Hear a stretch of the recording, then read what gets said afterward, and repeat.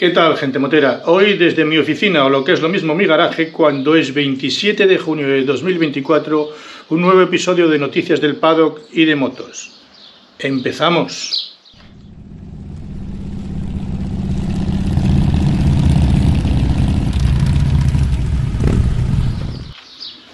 Antes de nada, recordad que, estamos en los previos ya, hoy habrá rueda de prensa, en los previos de, la, de GP de Asen. Veremos a ver lo que dicen los pilotos esta tarde, hacia las 3 de la tarde, 3 y cuarto, va a ser la rueda de prensa, van, a empezar las ruedas de prensa de, de Asen. Vamos a empezar por una noticia, eh, que bueno, que es una noticia buena, porque resulta que Mia Rusten, que como sabéis es la piloto aquella que se había pegado la castaña en la primera carrera de, de Superbike femenina de con las Yamaha R7 y había estado bastante grave. La última noticia de los médicos es que estaba estable, pero todavía estaba en coma. Eh, y bueno, ahora fue trasladada, como ya sabéis, a Noruega, a su país, y se está em, recuperando allí. Bueno, pues la buena noticia es que a día de hoy respira por sí sola, sin necesidad del respirador, y que empieza a mover los, los brazos y las piernas. Bueno, esto es una buena señal de que el coma va evolucionando y que, bueno, su cerebro también tampoco debe tener muchos daños, porque ya le habrán hecho las correspondientes pruebas de movilización de, de manos y pies, y bueno, si esto funciona, poco a poco, eh, bueno, su, su sistema motor volverá a ser el que era. Así que esperemos verla pronto en las carreras. Esta era la primera noticia que tenía que daros una buena noticia. Mia Rasten se recupera ah, afortunadamente rápido y bien. Bueno, rápido. Con sus tiempos, pero bien. Como ya sabéis, hace ya unos días Hace un par de semanas Yamaha tuvo un test privado en Cheste. Eh, no trascendió gran cosa de lo que allí hicieron, pero bueno, se, parece ser que probaron diversas aerodinámicas y, bueno, están en la línea de volver a ser lo que era Yamaha. Eh, nos había sorprendido que Honda no hubiera aprovechado ninguno de los test privados, pero justo a la semana siguiente Honda también pide permiso en Cheste para hacer su test privado correspondiente. Y bueno, parece que están saliendo las cosas y, y Bradal eh, bueno, pues va, va a tener una, una, un trabajo extra ahí en Cheste para conseguir, para intentar que la moto de, de Honda de que la moto de los pilotos de Honda funcione bien para los grandes premios. Veremos a ver, porque tampoco es que haya trascendido mucho de lo que hicieron en los test privados, pero eso se va a ver inmediatamente, se va a ver en Asen seguramente se verá si hay mejoras o no hay mejoras y si los tiempos de ambas motos mejoran. Veremos a ver, porque yo espero que sí, que vuelvan por sus fueros tanto Yamaha como Honda, tiene más posibilidades Yamaha, obviamente. Hablamos ahora de comentarios de Lucho Chequinelo, que como sabéis es el jefe de la LCR o el segundo equipo de Honda para, para más señas. Pues bien, habla de Zarco Maravillas, dice que es una persona que está totalmente eh, metida en el programa de evolución de la moto y dice que es un auténtico artista una vez que se sube en la moto y que está dando muchas, eh, muchas buenas cosas para intentar mejorar a la Honda. Veremos a ver por qué Zarco se embarcó en esto sabiendo lo que había y desde luego eso le honra que siga ahí al pie del cañón. Veremos a ver si consigue alguna, alguna cosa buena para Honda. Hablamos de Joan Mir. Si Joan Mir hace una semana estaba pidiendo a gritos salir de Honda, porque era así, la verdad es que no estaba contento, decía que le estaba costando mucho seguir ahí sin resultados y sin conseguir absolutamente nada de la moto, pues resulta que al lunes siguiente, justo en el fin de semana anterior, al lunes de esta semana, eh, comenta que se queda en Honda, se queda y parece ser que ya tiene firmado el contrato correspondiente y bueno, espera tener un mejor paquete de carreras y bueno, seguir adelante para conseguir un buen futuro. Esto es lo que dice Mir. Necesito resultados para ayer, dice contundente. A nivel de cabeza, quiero seguir eh, y superar esta situación. Yo como piloto no tengo mucho más tiempo. A veces tienes que ser un poco egoísta. En el mercado ya, ya no estoy de bien que cuando llegué a Honda. Es una realidad. Es decir, todo el que pasa por Honda termina peor de lo que entra. Está clarísimo. Y hasta el momento no he disfrutado demasiado de estos dos últimos años. No obstante, Mir parece ser que se queda en Honda a todas luces. Debió de haber firmado ya. Y tenemos ya un sitio seguro en, en Honda Mir. Y bueno, ahora, ahora al final repasamos cómo está la parrilla de salida para 2025. Hablamos de Bezeki. Bezeki, que es de la Academia de Valentino, se va del VR46 y ficha con Aprilia. Parece ser que el VR46 o se queda sin pilotos o se queda sin pilotos de la Academia. Porque creo que era el último, Dillan Antonio no me parece que sea de la academia, así que creo que era el, último de la academia que estaba en el VR46 y además Besecchi había tomado la determinación de quedarse con Valentino Rossi, en el equipo de Valentino Rossi, por eh, afinidad, por agradecimiento a lo que Valentino Rossi había hecho eh, para Bezecchi en cuanto a su carrera pero todo tiene un límite y lógicamente si no consigue resultados en el VR46 pues decide irse a Aprilia. Ríbola encantado de tener en el primer equipo a Besecchi por un lado y Jorge Martín por otro. Un italiano en Aprilia, siempre es bueno que en una marca italiana haya un italiano. Así que Besecchi cumple esa norma y se va en el primer equipo Aprilia con mm, Jorge Martín. Ha fichado ya y bueno, mm, dice también Ríbola que, a, a Maverick lo tenía en buena estima pero que bueno que no puede hacer nada si Maverick decide irse, que como sabéis, Alex Espargaró se va como probador de Honda y, Maverick Viñales se va al equipo KTM. Así que mm, bombazo, Bezeki se va de, de, piloto mm, compartiendo box con Jorge Martín en el equipo Aprilia. Desde luego, es un hombre que, si bien no ha brillado todo lo que tenía que haber brillado, yo creo que es más bien porque estaba metido en un equipo que tampoco le daba las correspondientes salidas a sus deseos de pilotar. Ahora en Aprilia, pues los dos máximos representantes, tanto Jorge Martín como Bezeki, podrán eh, evolucionar la moto conforme a sus deseos y vamos a ver grandes carreras dentro del equipo de Aprilia, del primer equipo de Aprilia. Hablamos de Rasgatioglu. Bueno, para empezar, no exactamente de Rasgatioglu, sino de Kenan Sufoglu, que es su manager y fue el campeón, como ya sabéis, de Super Sport hace años ya en el, campeonato de Superbike. Eh, pues bueno, resulta que se va un poco del pico Kenan Sufoglu y dice que Toprak Rasgatioglu que está buscando equipos de MotoGP para irse para la próxima temporada MotoGP. Ante esta, ante esta afirmación, eh, Toprak Rasgatioglu tiene que salir a la palestra a, digamos, en cierto modo, desmentir eso que había dicho Kenan Sofoglu. Admite Rasgatioglu que sí, que efectivamente ha estado hablando con pilotos de tres marcas, tres marcas, incluyendo la Yamaha, la Yamaha en la que ya había estado. Después os comento lo que pasó entre, entre Sufoglu y la Yamaha. Eh, y otras dos que se supone que pueden ser eh, Ducati y, me imagino que Aprilia o, incluso quedarse en la mismísima eh, BMW para el 2027. No olvidemos que BMW en el 2027 tiene pensado subir a MotoGP y puede ser que Rasgateoglu junto con su marca, con esta marca que está dando tantos buenos resultados, va a terminar en, MotoGP con la misma marca. No se sabe todavía, esto es mucho aventurar, pero de momento sí se sabe que Toprak Rasgateoglu ha hablado con tres marcas diferentes de cara a pasar al, a GP. Tenemos por una parte que bueno que parecía que Yamaha y Toprak Rasgatioglu no se llevaban nada bien, pero bueno, mm, estas cosas eh, a la hora de la verdad pues tampoco tienen mucha importancia. De todas maneras sí se sabe que habló con Yamaha, en esta ocasión Toprak Rasgatioglu, y lo que había sucedido eh, antaño entre Toprak y Yamaha, recordemos que cuando estaba en Yamaha probó la Yamaha de MotoGP y llegó al box diciendo que sí, por favor, que si le movían un poco el asiento, en fin, cosas de ergonomía, porque claro, el, el, el fideo, como yo le llamo, como es alto y tiene eh, unas extremidades tan largas, pues digamos que no cabía muy bien en la Yamaha y pidió que le retrasaran un poco la silleta y a lo que le contestaron que bueno que eso estaba ya preparado para el probador y, bueno que no para Kraslow y que eso que no lo iban a cambiar entonces digamos que de alguna manera Toprak se rebotó y dijo bueno pues ahí os quedáis no quiero probar más esta moto pero bueno, eso fue en un test privado donde le ofrecieron probar la moto, pero nada más. Y ahora mm, no quedó del todo eh, enemistado con Yamaha y Yamaha ha sido el primer equipo que Toprak Rasgatioglu ha hablado con ellos para cambiar para MotoGP. Bien, pero dice Toprak que él no se irá de BMW si BMW no, eh, no eh, le da la salida. Es decir, no quiere quedar mal con BMW ni muchísimo menos. Así que otra posibilidad es esta que os acabo de decir, que esté esperando al 27 para seguir con BMW, pero en GP, no en, en Superbike.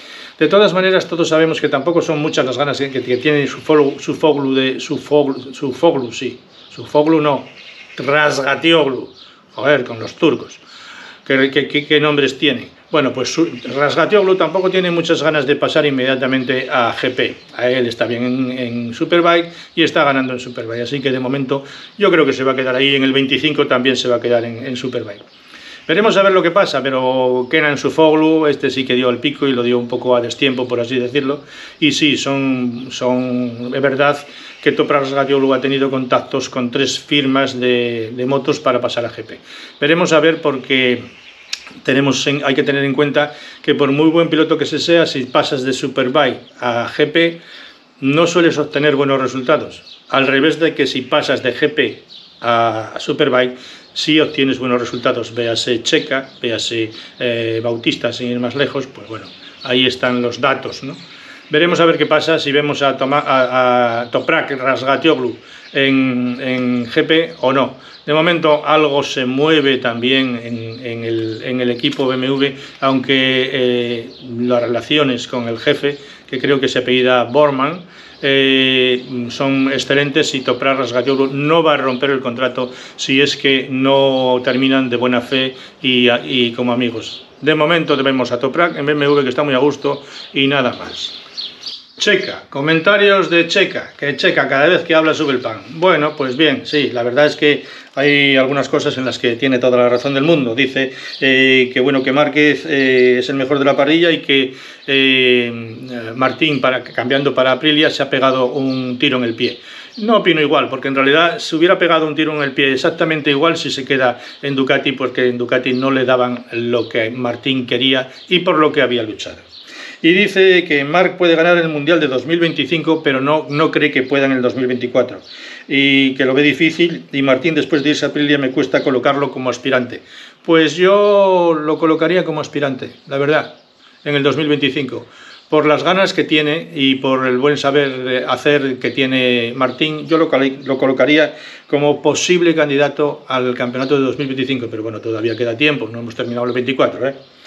Eh, y bueno, lo importante para Mar es tener una moto ganadora, afición italiana en contra, compañero italiano. Hay gente que estas cosas le afectan, pero a Mar le importa un pito. Esto es cierto. A Mar se la resbala todo, absolutamente todo.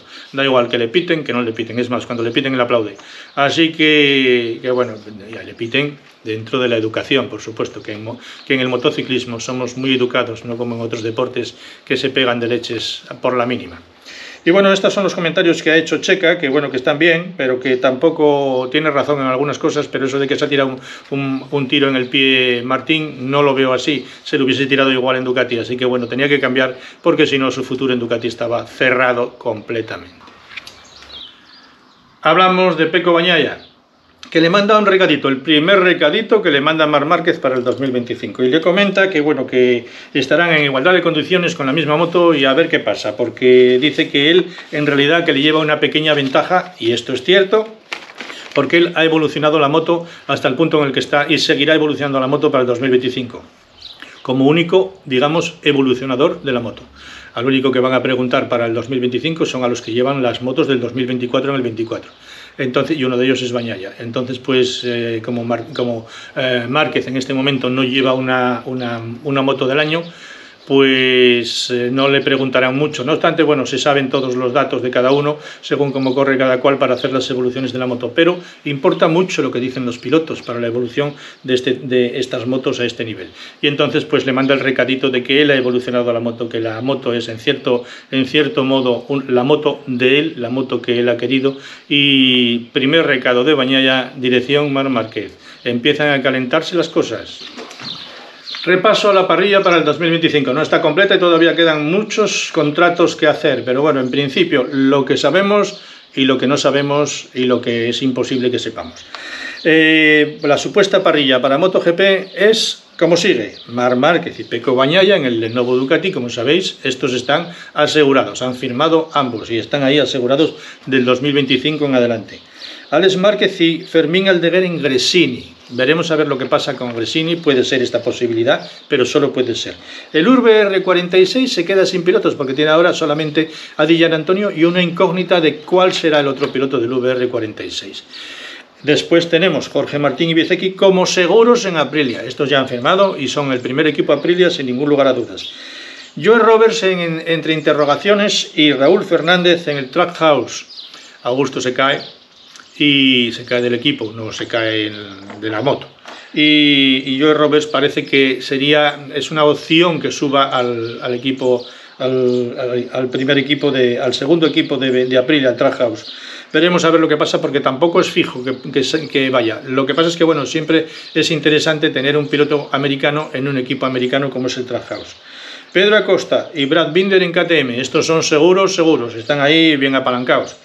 Después Maverick Viñales, y Bastianini en el Tech como ya sabéis, estos también son seguros. En el Tech KTM Tech que se llama ahora, no KTM, no Gas Gas Tech KTM Tech, Fabio Quartararo y Alex Rins en Yamaha. Fabio Quartararo es un fijo porque ya lo tiene firmado, Alex Rins no es tan fijo de momento porque no ha firmado a día de hoy, no se sabe lo que pasará en Yamaha. Después Miguel Oliveira y Morbidelli supuestamente, supuestamente se irán al Yamaha Pramac en el caso de que Pramac pase a Yamaha. Ahora hablamos de los equipos que pueden pasar a segundo equipo Yamaha. Miri y Luca Marini también son ciertos en Honda Racing Corporation. Y Zarco también es fijo en el LCR de Lucho Cechinello. Nakagami no lo puedo poner como fijo porque no sabemos muy bien si ha firmado o no ha firmado o si será Ogura el que suba. Ogura no tiene muchas ganas de subir a GP en este equipo del LCR, así que bueno, no sé si seguirá Nakagami de por vida porque ya lleva unos cuantos añitos. Bien, y ahora hablamos del segundo equipo Yamaha.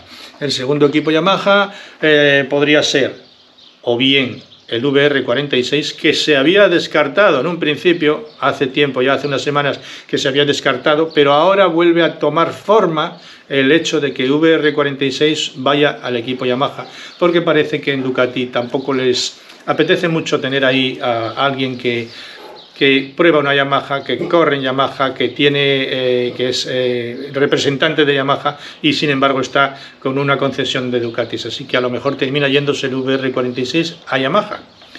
Y por otra parte, Prama, que le hicieron una buena jugada eh, con, la, con, la, salida de, bueno, con, con, Martín que se fue, en fin, que el equipo de Pramac, mm, la verdad es que queda un poquitín desangelado en cuanto a las, a las Ducati. Se supone que Pramac sí que, sí que seguirá en Ducati con una moto del, hasta ahora, con la misma concesión que tenía la moto del año en, en Pramac, pero claro, será un equipo satélite no será el primer equipo, que era lo que quería Martín, y por lo que había luchado, por eso Martín se fue.